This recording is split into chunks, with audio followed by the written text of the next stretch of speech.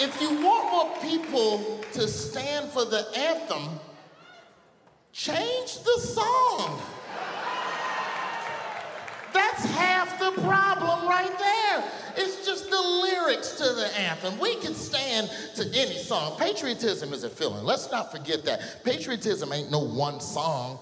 For as long as we stand and agree that people died for us to kick it, we can do that to any song. You can do that to Bruno Mars. What's more American than Bruno Mars? They say America is a melting pot. Well, damn it, I want to stand to Bruno Mars. He literally looks like every race at the same time. What's better than that? What's more American than us standing with a Hawaiian, Mexican, white, lesbian, Jewish man? I feel like I've done well enough for myself that if I died tomorrow, my kid would probably be okay and could go to college. I don't consider that making it. Like, the irony is that when I started, I was always struggling to find a safe place to sleep. Now I have no time to sleep. This script needs to be in, these jokes need to be together because there are 10,000 more people right now as we speak sleeping in their car waiting to replace me, and they can't have it. So I gotta work a million times harder than I did than 1998 to stay here.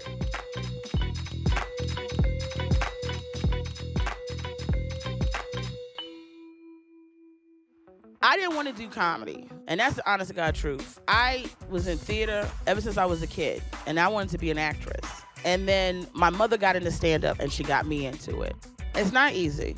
I've lost teeth. Look, I had teeth when I got in the game, uh, both sides. You're gonna be poor. I was homeless. I didn't take calls from my family for almost a year because I didn't want them to know I was homeless. Uh, I used to be a stripper. Uh, oh, thank you. That feels good. People always want me to be embarrassed about it. Yeah, well, I am. it's just that I'm embarrassed for a different reason. I'm embarrassed because I was a broke stripper. Uh, yeah, because I don't have tits and ass, and they don't like that in the black clubs. but I insisted anyway, you know. But if God tells you that your demographic is 35 year old Russians, believe him. And I was making no money. At one time I was crying on the floor of the locker room, and one of the big titty money making bitches came up to me, and she was like, Oh, don't cry. Next time, use your personality. Which was insulting enough, but my dumb self didn't realize that personalities industry speak for blowjob. So I was in the strip club being myself. hey, don't be yourself in the strip club. They don't want yourself in the strip club. I'm at the bar talking to customers. I'm like, well, this tattoo's from a book of James Baldwin essays. Okay, um, I started stand up because I was a junior in college. I was extremely depressed. I'd gone through so many things that year, and I lost all my friends. I alienated so many people, and I thought I should do something that makes me happy. And I couldn't think of anything that made me happy except for stand up. I just went online randomly, bought a joke writing workshop. I did a couple mics, and I've been doing stand up since. The new generation came up in the bringer era. They would have bookers say, like, yeah, you could perform at this club. Just bring 10 to 12 people. You do five minutes and we tape it. And then we would have this notion like, whoa, yeah, I'm gonna be at the club. I'm gonna get passed here. At a bringer show, after a while, you start to learn what the difference between fans and fucking family. It's two different things. Fans pay tickets to see you. Family just came out to support you. And that's how it was. I would feel like I was king. I was killing it like, hell yeah, man, I killed Caroline's. I could go do the cellar now. What's up? And I think I did the Cellar open mic, bombed. And it's good to get broken down by bombing, because that helps you figure out like this is real, man. No, you're not the next thing. You you need to be an artist. You're performing with acts that are all at different trajectories in their career.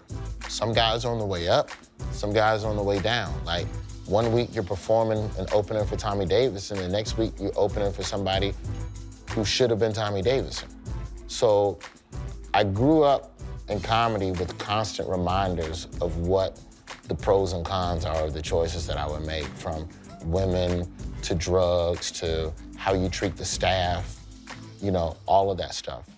Me tell you how bad I wanted to do comedy. We drove from Kansas City. All they gonna pay us is fifty dollars. Kansas City to Oklahoma. Shit, that, that's a drive. Uh, we talking two, two and a half. You know, it- it's, it's a drive. So you know, we got the music blasting, talk shit in the car. That's back when I smoked cigarettes, smoked cigarettes. So we get to the club. It is a hit. Uh, they got chicken wire over the stage. Huey B went on first. They booed his ass off. They throwing fucking bottles at the chicken wire. So I'm backstage. I need this fifty dollars though. So shit. I come out. You get, you N word, all that shit. I said, oh really? Yeah, you motherfuckers.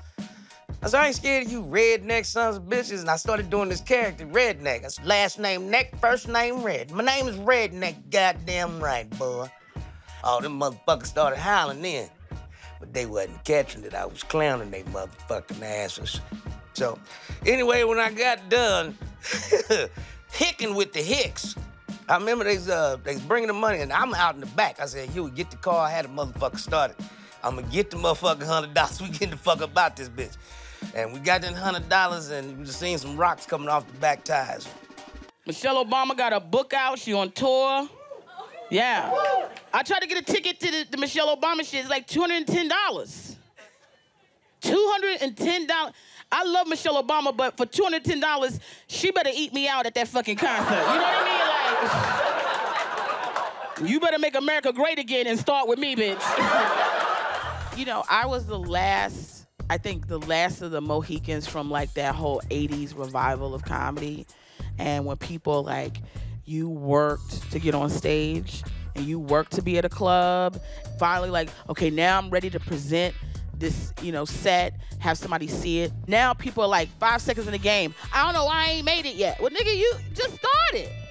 But I get it because there's so many TV outlets now. Like when I, you know, when I was a kid, well, how many channels they had? Two, three. Now you can pop in, you can watch all the time. And so there's so many outlets for comics that people are like, well, I see this comic and this is their trajectory on how, uh, you know, they moved and I should be moving the same thing. People are uh, now are like watching a lot of formats and templates of how people are making it and trying to do the same thing and then expecting the same results. That's why I hate when people try to shortcut themselves. The only way you're gonna be able to get comfortable in front of an audience is to be in front of a bunch of audiences. writing is one of the main things I, I focused on the past four years because you really want to have something to say and just keep pushing the art forward instead of just having observational humor because observational humor is dead. Social media killed that. Memes, YouTube, like when your side chick calls your phone, what do you do? I mean, that's that's observational shit. To where you have like a Kevin Hart who will tell you about living with his wife and his kids, or you'll have a Chris Rock about growing up in the schools, being the only black kid. You have Dave Chappelle telling you about his experience in DC with the crack baby. Stories. Fucking stories. And then I would tell the story about me living with my sister then who transitioned to my brother. I love my brother. My brother's transgender. Transitioned from a woman to a man years ago. Love him very much. Oh, thank you. All right. Cool, cool. I, I'll tell him you can. I love him. I, I, I love that he loves his body, and I'm happy that he loves his body. He loves his body so much, he loves to brag to me now. He'll come up to me like, look, man, I got more facial hair than you. I got more armpit hair than you. I didn't know he transitioned into an asshole. I get it, but you ain't gotta flex on me. Damn. What it felt like? Felt like like I was at the end of the Little Mermaid, and the mermaid's like, "What's up, Ariel?" And she's like, "Oh, y'all bitches still got flippers." I would tell that story. Not his story, but my perspective of living with a transgender brother. And that resonate with people because they never heard that before. And I feel like that's what stand-ups have. That's what stand-ups will always have. Have fun with the observational humor, but have a fucking story. Have a voice where people like, yo, that's the nigga with the fucking sis, bro.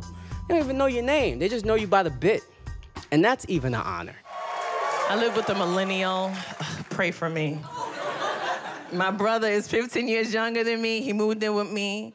Every day, I wish I dropped him. Every day he makes me feel like I'm a bad person, right? He's always checking me about things that I didn't know were now out of vogue. Another day he walks into the living room, he has on a, a peach t-shirt. He goes, Chloe, what do you think about this shirt? Is it too feminine? I'm like, no, it's a regular peach t-shirt. He goes, trick question, gender's fluid. Get Social media is the automobile when everybody was still riding carriages. It's a thing that you don't want to need, but then it becomes so crucial to your survival that you have to adapt. It's frustrating. It's frustrating because as a comic, you're out every night, like literally out every night, busting your ass, humping through these cities. I've done so many shit gigs at bars in the middle in fucking West Virginia, and you're truly busting your ass trying to develop a skill so that you can be called a comic right? And you finally earn that title where it's like you consider yourself a comedian, your peers see you, they consider you a comedian, and then you have these people who create funny sketches about, you know, oh, here's this nigga's dick print in sweatpants, it's sweatpants season, or some shit like that, which is it's cute. So it really watered down the craft. But they want to be called comedians as well, and it's just like, well, who am I to knock somebody else's hustle? For me now, there's two things about the millennials and the new Instagram 355,000 Instagram likes by people who will never pay a ticket to come and see you. Do not a comedian make, I don't feel. The millennials that's coming through now, they got entourages of 10 to 15 people. They want to get paid. They don't put no respect on your name. They treat us like you're washed the fuck up on the new shit. What we know that they don't know is that 30 years from now, you ain't gonna be able to sell out no motherfucking room 30 years from now.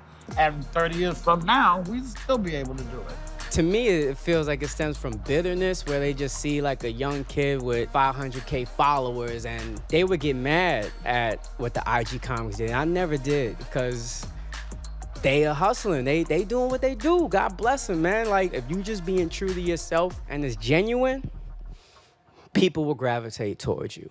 Of course, I'm gonna I'm gonna big up my crew. Um, I roll with a really funny crew of comedians. I think we're all very talented. That would be Monroe Martin, Hadia Robinson, Yamaneika Saunders. You know, we're taking a page out of like the Adam Sandler handbook of Spike Lee. It's like we're going to do projects and work together and promote each other and share each other's content and really do what we need to do, which is have a strong core of us so that if one person blows up, you're gonna already have people that you can move into the project. You know, it's like family. You wish the best for them sometimes. There's sometimes you feel like people are hacky. Sometimes you feel like people are joke thieves. It's very collaborative, and then at the same time, it's very lonely too. It, it, it's really about what you, how you go about it. You know. You know, you look at Keenen Ivory Wayans, Robert Townsend, those guys, Eddie, those guys. They did create a lot of stuff. They sat down with each other in trailers and different places, working on scripts. And I think the collaborative effort went away too because everybody wanted to be a rock star. They all wanted to be Martin. Had their own show like Martin. It's my show. You have your show. Like you wasn't collabing. People wasn't collabing together. I remember Issa said something dope. Issa Rae. She said people always let it try to network up instead of networking with the people that's right next to them or working with the people that's right next to them. And you get more done that way. Instead of trying to chase this person that this that's looked at as this oh, this is the person that can change my life because they did all this other stuff instead of just like, so what if we, can we become those people? The improvement comes in drips. And at, at, any given time, even today, there's only two or three comics making crazy money. Not Kevin Hart's the man. They usually, they always find one, and that one gets all the work. They always find one, because they won't let it be two or three. Look how many white actors get to work. But with us, I wasn't. Hollywood never put me in that group. I busted my, everything I found. We worked, we worked, we worked. When I did the Sinbad show, 1994, our first TV shows were naive. We think comedy writers are like comedians. We think they're fun people. Comedy writers sit in a room like this. So I'll come in, I didn't realize they didn't want me in the room. And I finally had a cat, got me hip. He said, dude, you know, they're mad at you because they don't want you in the room. I said, well, why wouldn't they want me in the room? And he said, they don't want your opinion. They just want you to be a performing monkey. Just get on set and perform. I said, well, that ain't never gonna be me. You know, I wasn't trying to do a sitcom. I had gotten a deal with Disney. And Joe Raw said, now they're gonna tell you they wanna do a show with you. Whatever you do, don't you pitch a good show. We're gonna make movies. I said, yeah, Joe. So I didn't know how not to pitch. I was just making up stuff. I'm gonna be a single man and I'm adopting, I adopt two kids. I'm a video game developer and I, am on the internet. And they were looking at me. I said, good, we out. He goes, yeah. I said, they bought this? I told my brother, I messed up, they bought it. I said, Joe, what'd you do? I said, they bought it. But then they got mad because it was about a black man adopting kids. It's about black kids in foster care. The whole show was about to show how this man had to quit being selfish. And, and he went from being a playboy and raising kids. I already had the 10-year plan in my head. The girl that was on the show with me that played the woman that worked with me was Salma Hayek. I said, we do this right. By third year, we'll get married. Now it's the first Latin and black family kind of on TV. We could have mixed all that, because that's how they live in New York. And I had this plan, were like this. That ain't gonna happen. I didn't realize it was a fight. They didn't want intelligent. I think when Chappelle Show came up with Sketch, America and the world was waiting for what would be the next big thing. And Chappelle Show came at that time. The writing process with Chappelle was if you had a premise for an idea, for a sketch or something, you would pitch the premise. And then if Neal and Dave liked it, they would write on it. How did Ashy Larry come? On paper, he was just Larry. He was just a dude that was struggling to pay his rent and would do anything for it. I knew that whatever I did, I had to be funny when you first saw me. And when I was younger, I used to shoot dice a lot, and my mom would bust me. She'd be like, were you shooting dice? I'm like, no. She was like, yes, you were. Look at how ashy your legs are, your knees are. So I put the ash in the Larry. I didn't tell anybody that I was gonna be that ash. When we came to set that day, I went to makeup. I was like, I need baby powder. I had a handful of baby powder. I didn't want to tell them and I was gonna do it because I didn't want to take a chance of them saying it's too sloppy, it won't work. So I was just like, I was just gonna roll the dice. So I shook my hand, I had the powder in my hand, and I blew it out in front of the camera. They caught it, and Neal Brennan looked at me, he was like, that was it. And that's when Ashy Larry was born. We were friends, like, we had fun. And out of all the projects I've done in my career, can't remember a project where we would work 16, 17 hour days and it never ever felt like work. It felt like a group of guys getting together and just making the world laugh.